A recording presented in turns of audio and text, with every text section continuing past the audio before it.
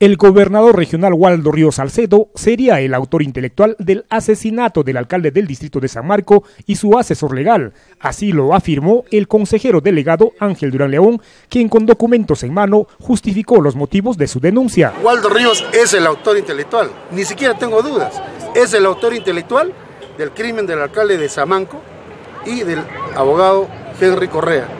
De eso estoy seguro. ¿En qué se basa para ello, señor consejero? Primero, que nosotros estamos siendo amenazados ya desde el mes de julio, que declaramos ante la Comisión ANCAS y ante la Dirección Nacional Especializada en Lavado de Activos. Y dijimos nuestra verdad frente al millón de soles.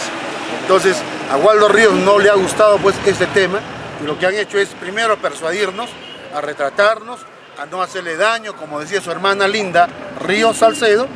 En todo caso, dice, tú lo conoces a Waldito, tú sabes de lo que es capaz Ángel, tú ya lo conoces. Pero bueno, más adelante han continuado las investigaciones, nos han citado a la capital de la República tres, cuatro veces y hemos ratificado nuestra posición de que Waldo Ríos ha tenido dos armadas. Primero, un millón doscientos mil bajo la fachada de la Gualdotón y después el millón que ha puesto en mesa Ninel Romero Bartusiak. Entonces estamos hablando de dos millones doscientos mil soles. Y lo que aquí ocurre es, como soy parte de este expediente, hay un colaborador, eh, perdón, hay un personaje bajo confesión sincera, que soy yo.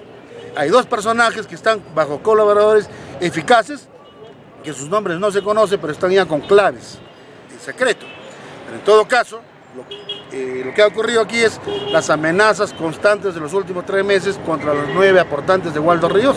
Waldo los tiene prácticamente secuestrados mentalmente y hasta físicamente, puedo decir, porque se quieren retractar en los amenazas.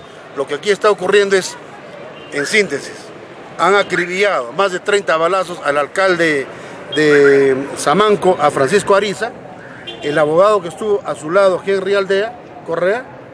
Este crimen no es más que un crimen político para ocultar, para ah, esconder más pruebas del tema de lavado de activos. El objetivo era el abogado, no era el alcalde.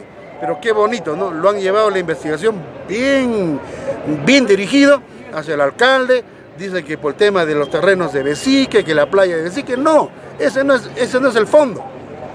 El fondo es, aquí pidieron la cabeza del abogado, ya lo mataron, ya lo silenciaron, ahora su hermana corre peligro, corre peligro los nueve aportantes, corre peligro Ángel Durán y los dos colaboradores eficaces. Así que Waldo Ríos, por más que quiera negarse, él es el autor intelectual.